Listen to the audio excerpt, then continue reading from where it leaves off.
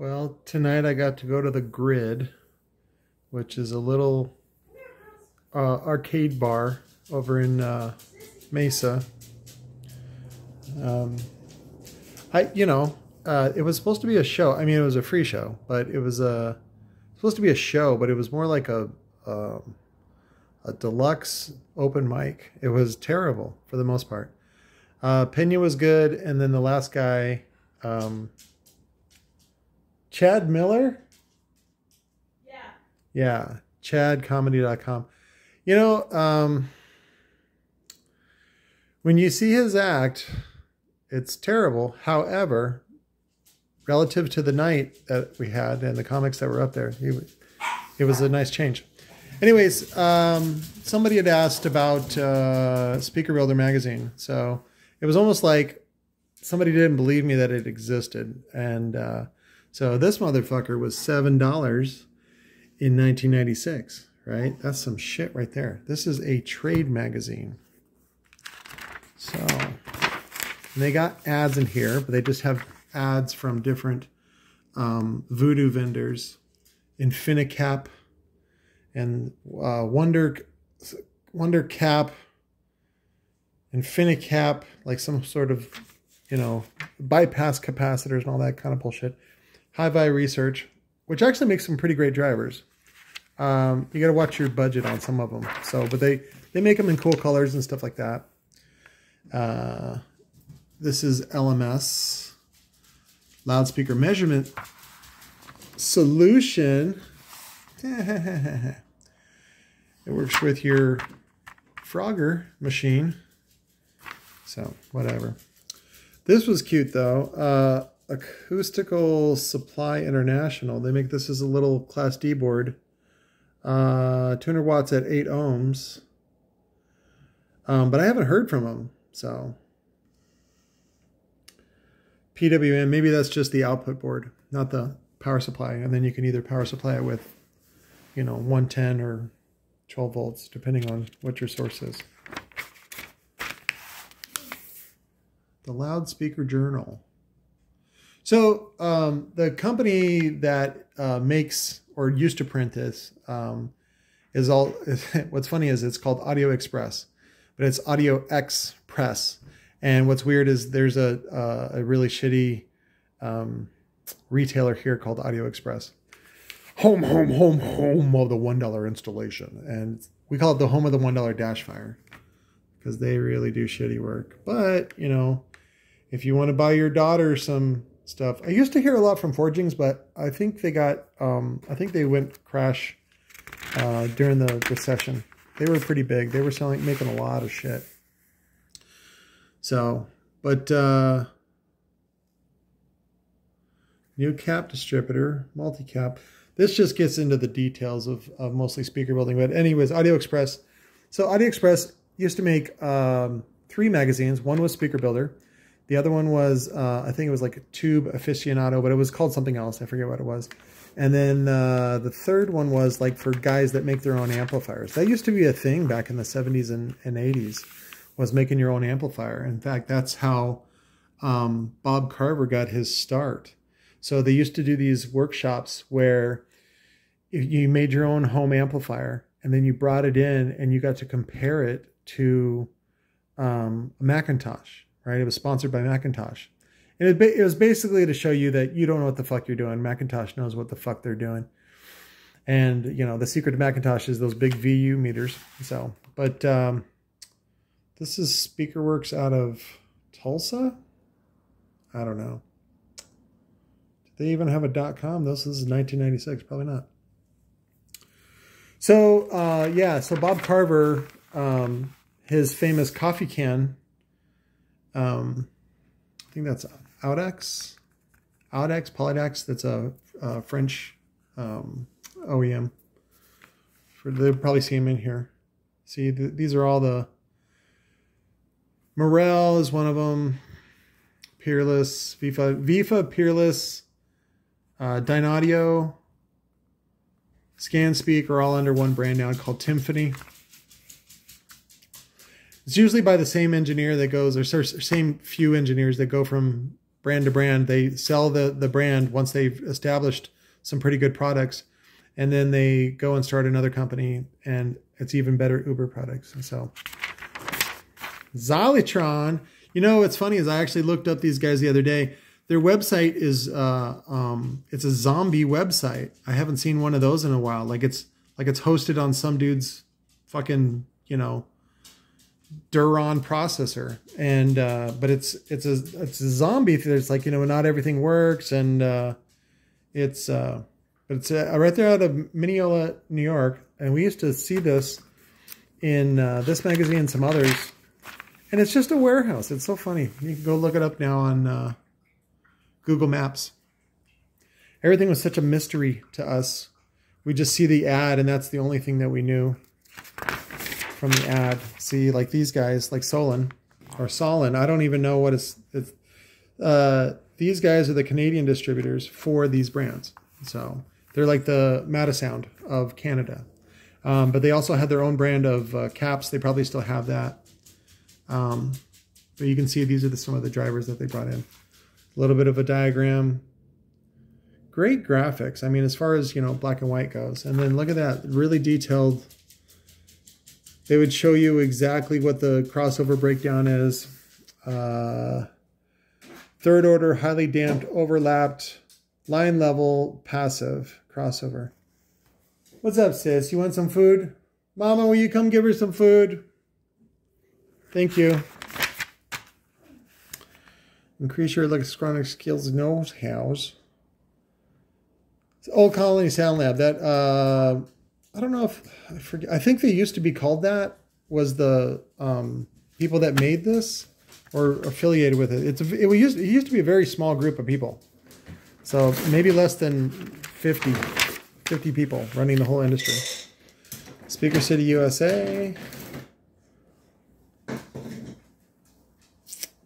Excellence from Denmark. Another one was Davis Audio. They made some really cool drivers, but you know, now you can find all that shit in China. So. And then, so Speaker Builder Magazine would, would take you step by step on a project, you know, on uh, building the cabinets, uh, what crossovers they used, and uh, this one here is a cut sheet using stuffing, which looks like an old jizz rag, old towel or something like that and uh, it was kind of cool just because you know if you were a uh, a middle aged guy with not much to do, you could do this kind of shit. So now this is SpeakerWorks. This is uh, Ted Ted Turner um, and his dad Carl or father in law. Sorry, father in law Carl. These guys were right here in Phoenix, and then um, I got to know Ted after the auction. Um, there you go, LPG, and um, I ended up I ended up buying I, ended up buying SpeakerWorks. So I bought out like a whole bunch of his materials. He was like I was he goes, uh, give me 500 for everything. I was like, okay. And then I got like a shit ton of uh, inductors and a bunch of other, you know, just passive crossover shit.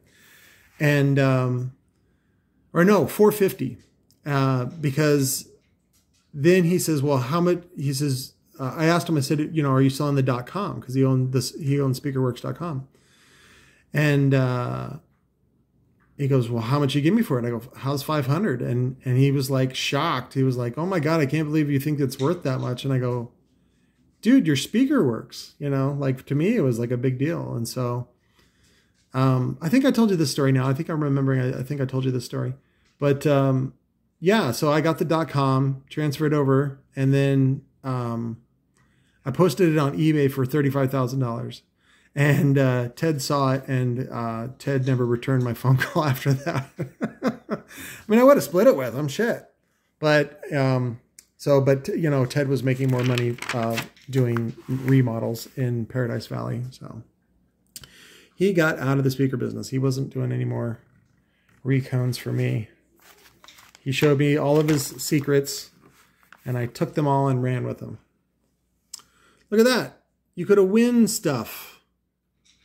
The shipping on that would kill you. See, Madisounds, these are their house brand Uh, this is before Silver Flute, I think. Uh, Audax, so they were basically having them built by Audax.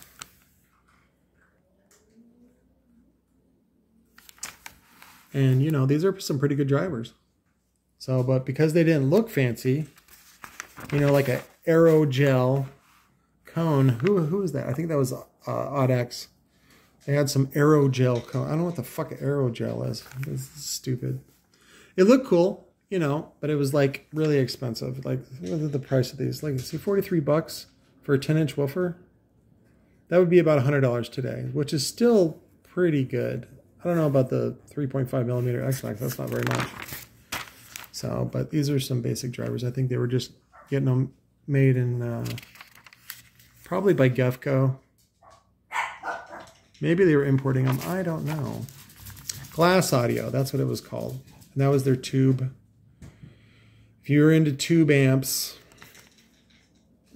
So, but you know, in the 90s, this is what we had, man. This was, uh, real cheap. How much was it? See, you could buy back issues.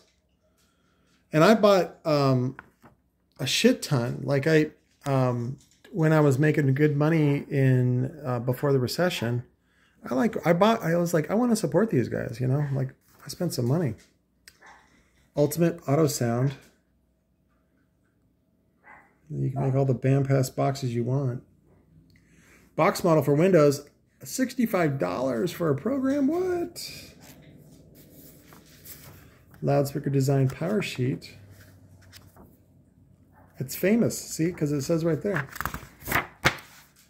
Man, this was, you know, this was early, early, early internet. They weren't even doing, the only thing on the internet at the time was a bunch of fucking anime, porn. It's art. It's the dirty pair. Like, shut up, Barry.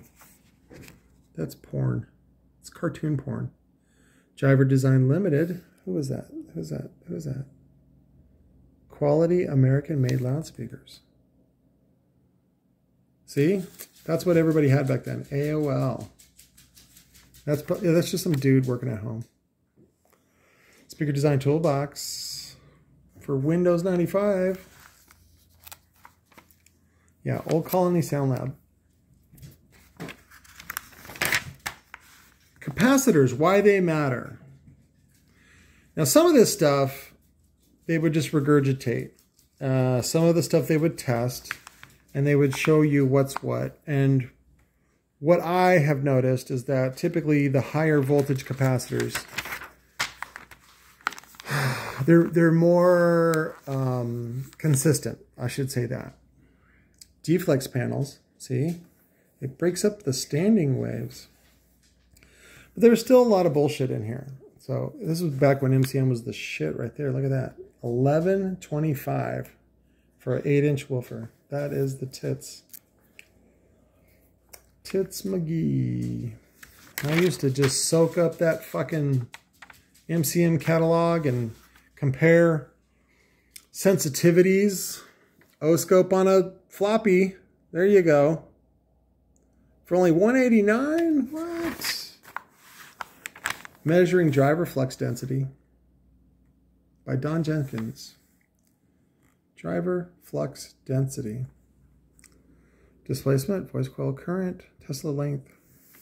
Boy, that is getting into some deep shit.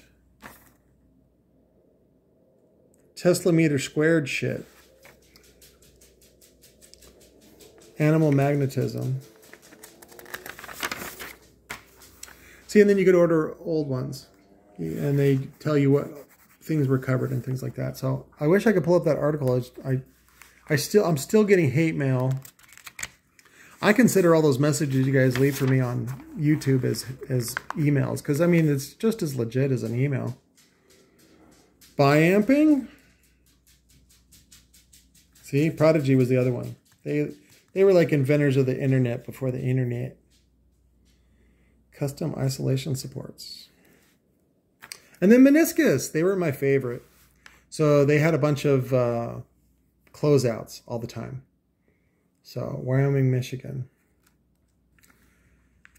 Uh, they're kind of like if you go to apexjunior.com, which uh, he sometimes has good stuff too. It was kind of like that, and you get this this really shitty printed up like it wasn't even like a Xerox. It was like a, the the roller like you see in uh, Fast Times at Ridgemont High. It was like you know you set it up the typeset and and it just prints them out, and uh, you'd get one of those in the mail. And I was in the Air Force at the time, and that was the shit. That was before the internets.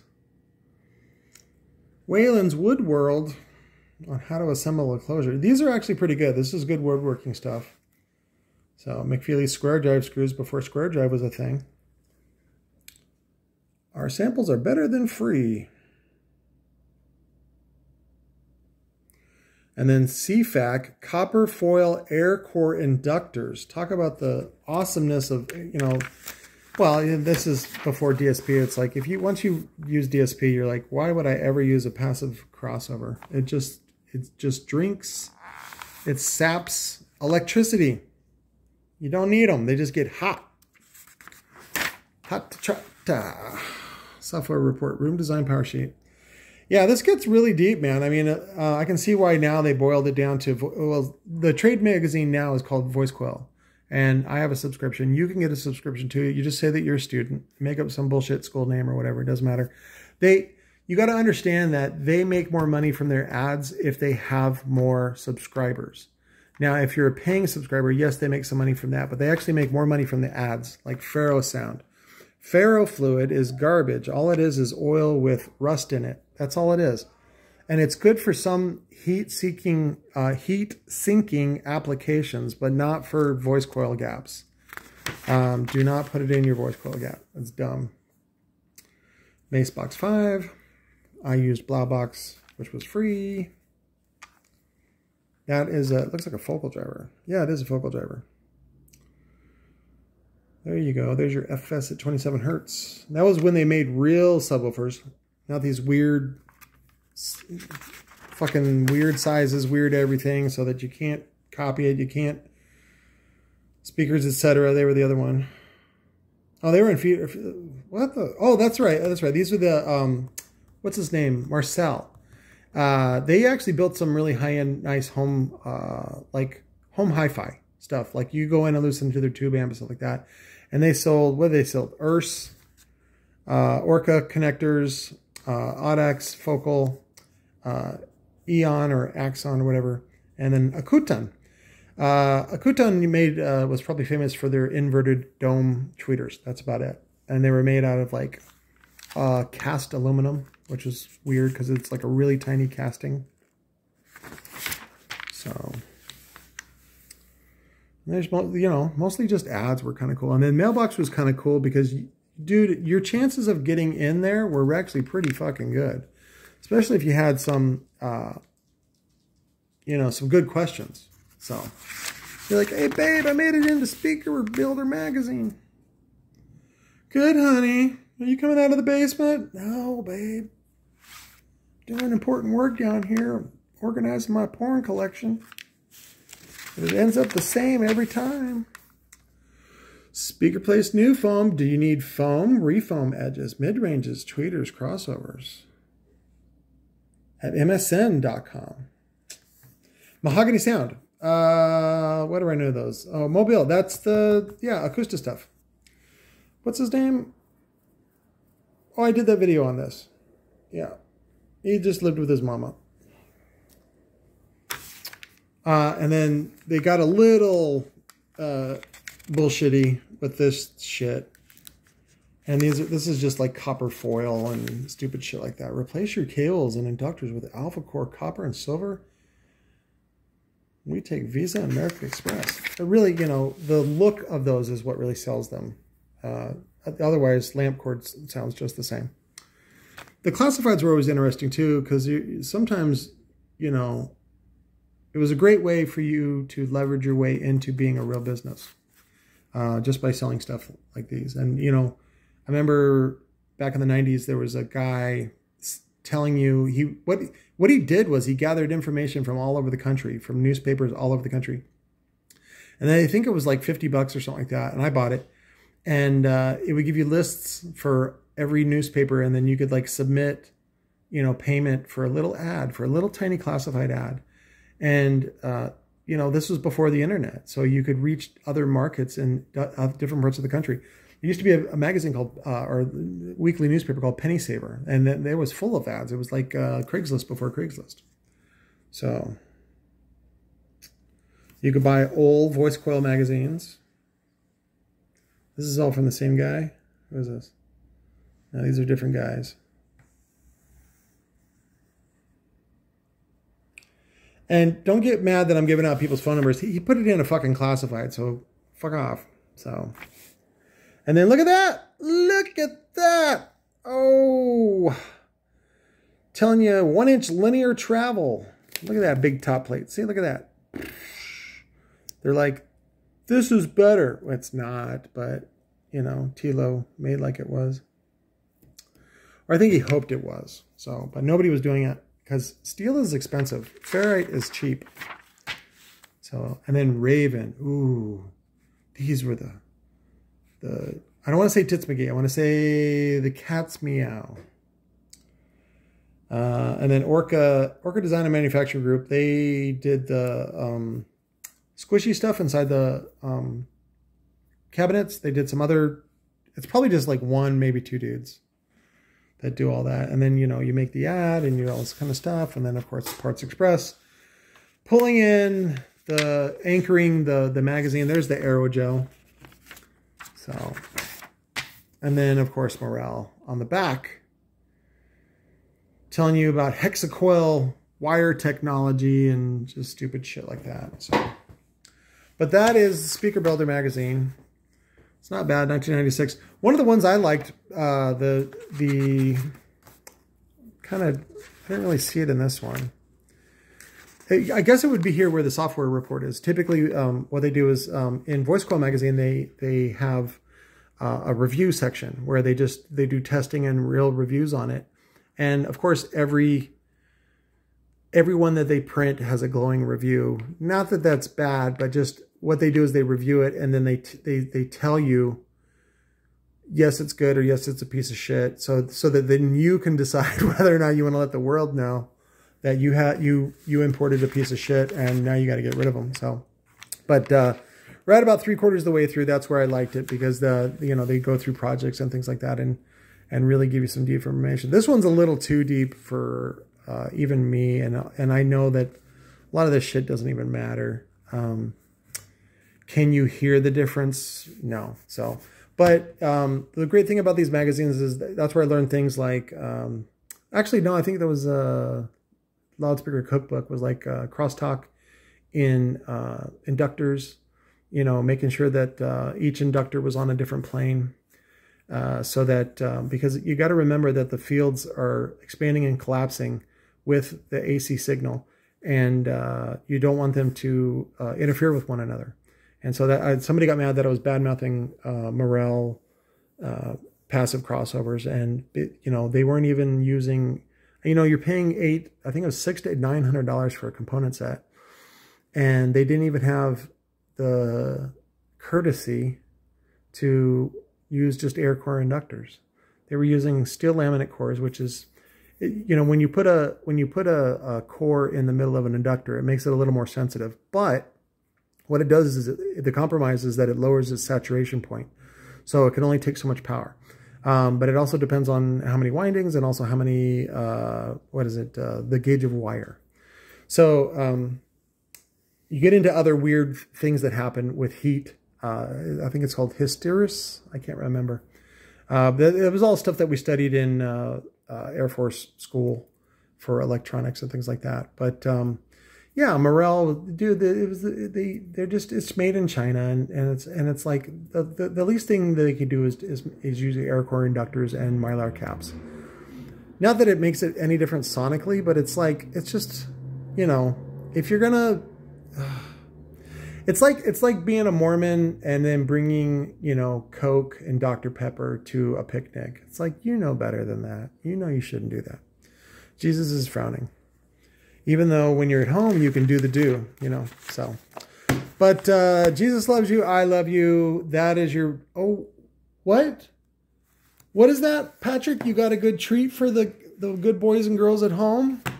Oh, what's that? The Rockford Fosgate Old School Confidential. Ooh, don't tell anybody. Uh, effective 2003. Price guide for dealers. Ooh, juicy, juicy. Juicy, juicy. Confidential terms and policies. Fuck you, Rockford Fosgate. Because you're not the same company. You Never were, really. These, I like these head units. They, um, I think they got in trouble with iPod, with Apple, because the remote was really the, the shit on those. It was the uh, uh, uh, execute and then uh, uh, jog. It's fucking great. I love those. Um, these were their first uh, attempt over uh, overseas importing, and I think they did a really good job on these. I really liked them a lot. So if you can see here, um, this is what I was telling you about in that 50 ohm source impedance, and that shows you. Um, uh, I guess having a low source impedance was the, here's the 100 ohm one, whatever. So, but uh, there you go. It's a 2 volt output at 100 ohms.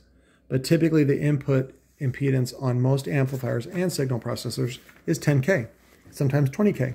So having a 2 volt input doesn't really mean shit when, you know, the uh, terminal impedance is like in the kilo ohms. It's so stupid. So you don't need a fucking 4 volt, 8 volt, 16 volt pre-out. But they'll give it to you. Dolby Pro Logic. I have one of these actually. Um, I bought it. I wanted to test it out and use it for some home theater. And get, I don't do home theater anymore. I, I don't have time. So the accessories, the IR remote control, it was only $20. Oh yeah, let me give you pricing. So the RFX 9020 was only dealer cost $126. And then the MSRP, right? That's the suggested retail price is 239. So as you can see, a lot of these, typically in car audio, you get you double your money. So I think it's technically they call it 100 points or whatever.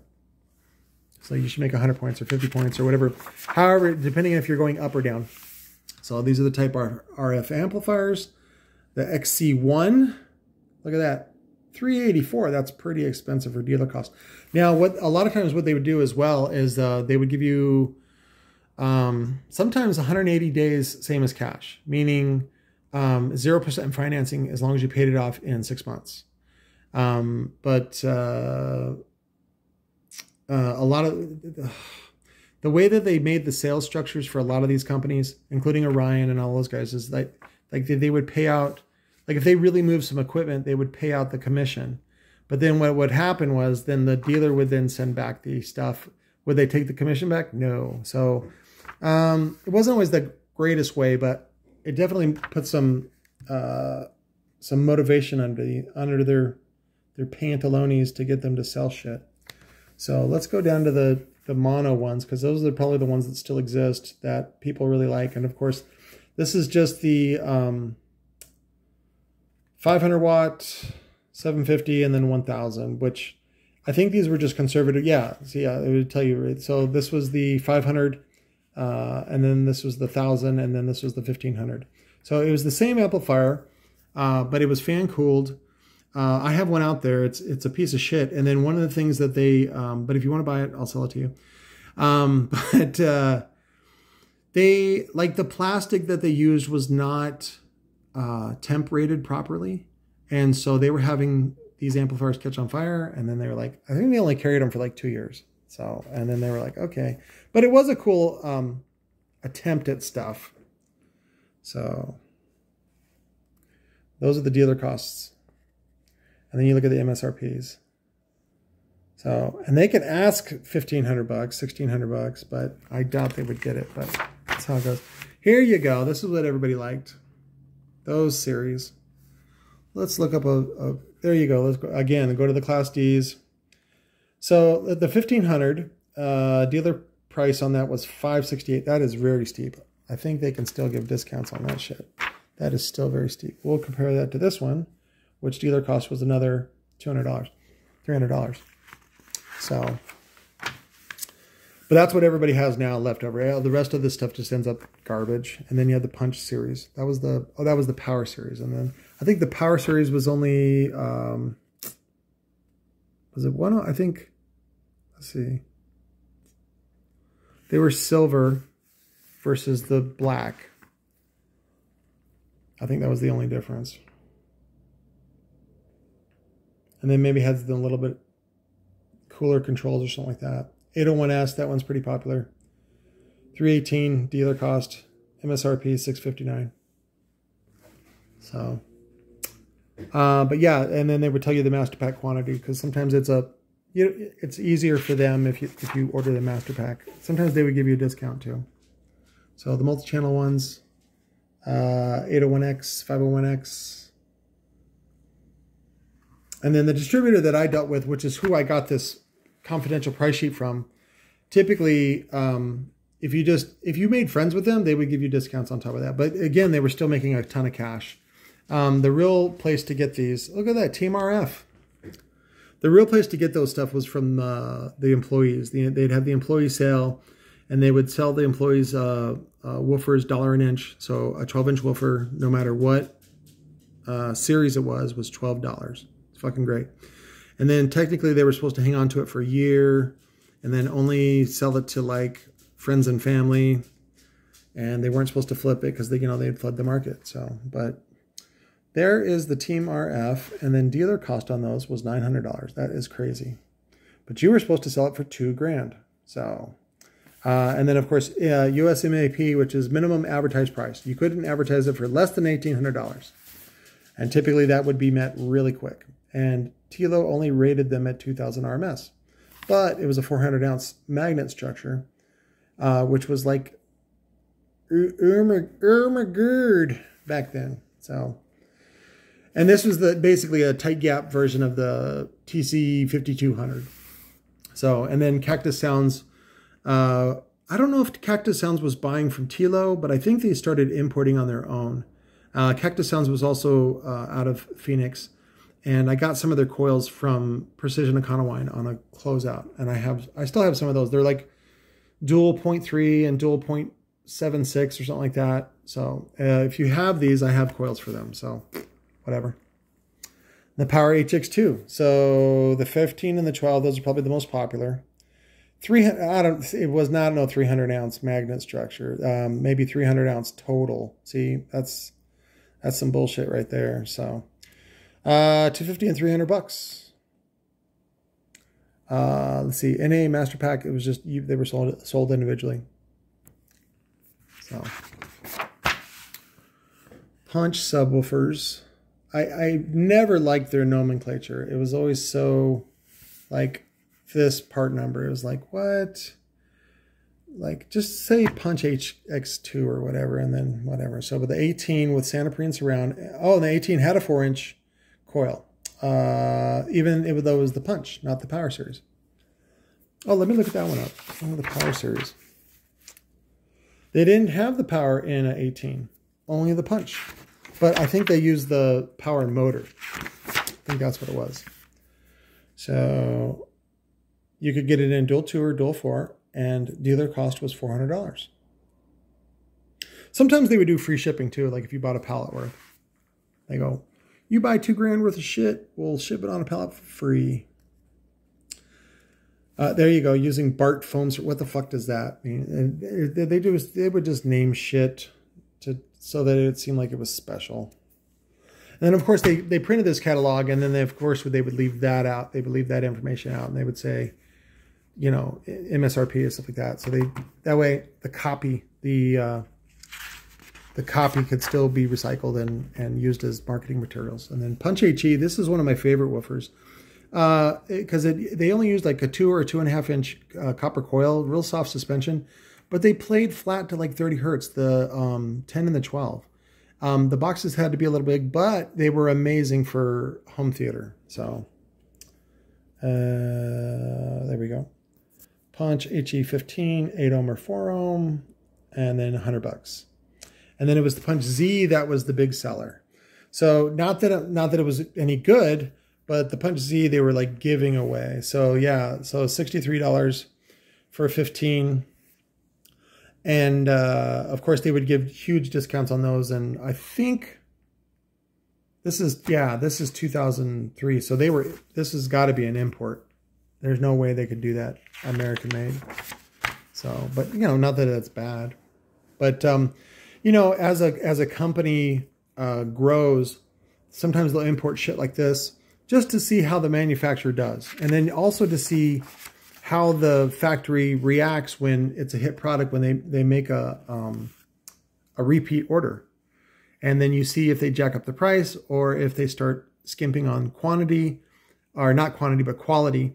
Um, and you got to watch your vendors. And typically, what they do now is you have uh, a vendor, and then you have a backup vendor, and then you even have one, you know, like in reserve. Like you know, hey, you know, and then sometimes you got to throw them a bone. You're like, hey, can, you do a run of 500? And they're like, yeah. And so, but the other two are the ones that are producing. And so you, you got to do your best to keep them secret. It's so crazy because they share, they share open secrets. They have lunch with one another and then they tell each other about business. And then they, they, they, it's us against them. It's kind of this weird, creepy, uh, war, but it's like, it's like you're just fighting over retail dollars over this, the harvest of the stupid people that buy this shit. So, you know, because they're they're posting a component set for what is that? Focus. There you go. For 479. And that is for a two inch four two way four inch component set. So the FNQ uh, six and a half, which was one of my favorites as far as good looking goes, and they wanted you to sell that for 419. And then there was the dealer cost. Uh, the FNQ tweeter, 105. Uh, and then the master pack was six pair. So, so you know, I hope this explains why I'm. I don't want to say I'm jaded. Um, I just I know the real numbers. And then what's really crazy is when you see manufacturing numbers, and even then, it's it's you. In order to see the real manufacturing numbers, you got to go over there. You got to make the you know the trip and spend two weeks there and all that kind of shit and uh, you know you get to say you're a giant even though you're six one. Um, I don't even think these are just the poly ones. $86 deal, dealer price. So, you know, and again, they were advertising these for 149 and then they come in and they go, like, especially if you're at the end of the month, they go, well, we'll give them to you for 129 or something like that, or even 100. But, you know, they were buying them for $86 or less, most, most likely less. Like I said, um, if you made friends with them or you just moved product like to them that you were useful, and if you're moving product, then all of a sudden you're a friend. And that's how you make friends. At least in business. As everybody everybody takes a, a, a bath in the orgy blood of the consumer. So that's their super capacitor, which if you open up is just a bunch of little super capacitors all put together. Now these are one of my favorite RCA uh, series. I love this one. I would love to, I, well, I would love to do a shorter one. Um, and I don't like this, uh, this, this rips off RCA connectors all the fucking time. Um, but I'd love to do uh, sort of a copy of it, make it short because you always, there's, there, it's never good enough to do the uh, long ones. So I got a bunch of the Matrix ones uh, out of, that were returns. Uh, Matrix series, they had the Riot series, which was, um, it was a braided, uh, triple. It used it a um, just a just a plastic empty wire. It was just a casing, but that way you could braid it because you need three wires to braid it. Otherwise, it was just twisted pair, which is not bad. I actually want to. I still want to import this wire um, as speaker wire. Do some really cool flexible. Um, it only needs to be like 18 gauge um, copper and it's it's fantastic. It's fucking super cheap, and uh, you can make your own RCA's with it. You can use it for speaker wire. 18 gauge is big. 18 gauge speaker wire is, is plenty big for speaker wire, especially if you're only going 20 feet, and that's what your uh, factory radio provides, and it's fine. Oh my god, you don't need to run a bigger wire than that. So oh yeah, the new Matrix. So I have the three meter one, which is that one, CPM 100, and dealer cost on it was seventeen dollars and they were selling it at Best Buy for $53. So, and then this is when they had the, uh, uh, this was the signal cable. This is the signal cable stuff. Um, I like the speaker wire. There it is. Yeah, that's when we got the big buyout from uh, some guy had he had won a uh, auction and it cost him three grand. But it was, dude, it was like thirty thousand dollars worth of shit. And then he had me help him sell it, and then he was he was didn't have time for it, so he ended up selling me everything, which was like pallets and pallets of fucking woofers, and I just moved them out for him, and basically I had to test them all, and then we we'd split them, and uh, you know I was very uh, uh, honest, I guess you could say. Um, I, I I I didn't want to blow that relationship, so I I gave him every penny that I owed him, and uh, dude, he ended up getting me like a no fee refinance uh, second loan on my house. It was fucking great. He's like, dude, he goes, fees are for chumps. That's what he was telling me. He worked at Wells Fargo. And th- at the time, they could just approve a loan if they just knew you. They're like, oh, he's a friend of mine. And that would, that's all it took to approve $11,000. so if you know, make friends with bankers, dude. I mean, most of the time they're douchebags. So, but if you can make friends with them or give them something they like and uh, treat them to something, you know, they, they can use, do it. So, but if it's, if it's too much, you know, try to have something in common. Typically, they have BMWs in common and shit like that. So, but these all this wire is expensive, and this was all from uh, Recoil uh, or Edge, I should say. Edge is the parent company for Recoil, and this is the company that um, Larry owns fifty percent of. So. Uh, not that that means anything in China because he's the he's the bitch end of the 50%. It's like trying to own beachfront property in Mexico. You don't really own it. Some Mexican owns it 51%. You own 49%, so you're the bitch. So uh, this is their Superflex wire, translucent red, translucent black, 8 gauge, 0 gauge, 1 aught and 2 aught. And these were mm, 50 foot sections. See? Not that bad.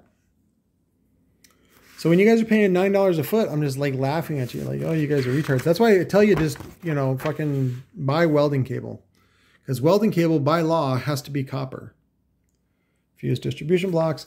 Uh, Fosgate has always had a, a weird thing. Like uh, um, it depended on, I guess, how much money they had extra to invest in fuse blocks, because sometimes they would make the amplifiers on purpose without fuses in them so that you'd have to buy a fuse block. And for a while there, I think it was uh, it was when Scott Deely uh, joined them in uh, 2000 um, that they were doing like a they'd give you like a three year warranty on your amplifier if you bought the power kit full price. So not, not, that's that's still not a great deal, but it's better than the other deals that were available. So but it was just to move more wire. So, because there was a lot of, or at least back then, there was a lot of margin in accessories and wire. And that's, you know, I, I think I talked about this before about, um, yeah, there you go. Solid brass ring terminals, one pair, $9. That's, that's, that's expensive. Um, because their cost on that was like, dude, it's like, it's like 50 cents. It's like a 25 cents. It's so cheap. So, uh, yeah, when you start seeing manufacturing costs, you're like, oh, yeah, oh, there we go, capacitors. Uh, the CPCC 200 farad, the other cost, yeah, so that was my cost, and then I wrote down what I probably suggested that I should sell them for. So I think I tried to sell some stuff like that. And then, of course, the power capacitors were all being uh, sourced by Edge. And then um, they ended up, um, and you know, more power to them. Rockford was like, okay, we don't need to use Edge anymore after I think their uh, contract was up or whatever. And then they they you you send enough people to go live over there, and you find better deals. So, and that's why it's good to pay some guy, you know, a hundred grand a year to go live over there and and fuck all the Asian whores he wants. Um, to save you a million dollars a year. That's a money shot right there. So, but there's your extra little treat. It's been 44 minutes. I love you guys. Sleep tight with those car audio boners you got. I will talk to you tomorrow.